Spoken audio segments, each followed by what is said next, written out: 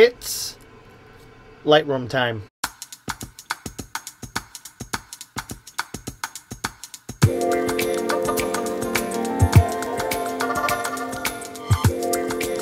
Today we're going to talk a little bit more about the graduated filter.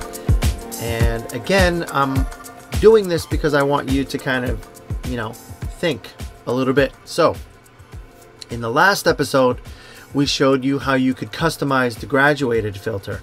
But what if you wanted to do that same trick in a few different parts of the photograph? Could you do it? And the answer is yes. So I have an example up here and I want to show you what I'm talking about. Basically for this photograph, I'm going to break this into three different parts.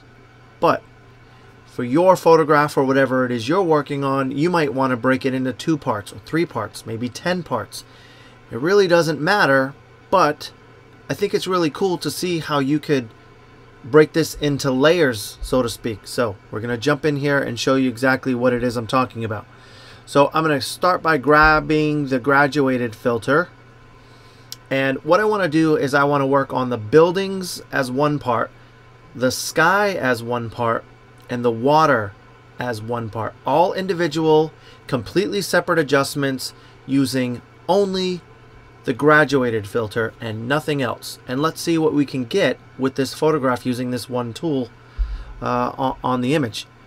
Um, so what I'm going to do is grab a filter and apply it to the top and if I hit the letter O you can see the overlay. By the way I had gotten this question from somebody who had asked uh, why was the overlay on my Lightroom green instead of red. Um, so a really quick tip on that is if you want to change the color of your overlay you can actually do that by hitting shift O Shift O will change the color of your graduated filter and you have a few different options here. You have red, which is the default color. You have green, you have white, you have black, and then it goes back to red. So green, red, white, black. Four colors. And I believe the reason that they're doing that is because some people are colorblind and can't their eyes can't register colors like red or green. They're they're deficient. So uh, maybe you can't see red very well, or maybe you can't see green very well. If you can't see red or green very well, um, you can hit Shift O, and maybe that'll help you out. One of my favorite photographers uh, in the world, portrait photographers in the world, is Joel Grimes, who's color deficient. So I uh, I wonder if he uses this trick. Uh, anyways so I'm gonna leave it at red for this instance and let's uh, let's get ready so I said for the first adjustment I only wanted this to affect the sky so uh, that means that anything that's being covered with the buildings I don't want that to be the case. So I'm gonna go over here to brush choose erase make sure that my settings are dialed in correctly and make sure the auto mask feature is turned on. That's the big kicker. Um, and then all I'm going to do is go and click on the buildings and get some of that stuff uh, removed from here. And as I go around clicking on the buildings, you can see that red overlay starting to disappear in a, in a really nice uh, advanced way. Now, once I have a majority of this gone, I could always turn the auto mask feature off and make my brush much, much smaller and with that I could go in here and just erase any of the spillage on these buildings or that red overlay that kind of got left behind so I'm I'm just I'm just playing cleanup at this point and making sure I have it exactly the way I want it. This doesn't need to be uh, perfect but I want to get it pretty close. And that looks pretty good. So now that I've customized this for the sky I can turn my overlay off and I can start to make any adjustments necessary um, that are going to give me the look and feel that I want for this. I, maybe add a little bit of blue to that sky, maybe play with my highlights and my whites a little bit. Yeah, that's looking pretty good. Maybe pull the exposure down some. Alright, so that's one graduated filter just for the sky. Let's go ahead and hit the new button Okay, anytime you want to add another graduated filter, you need to make sure that you choose new. So I'm going to do that. And I'm going to apply this again.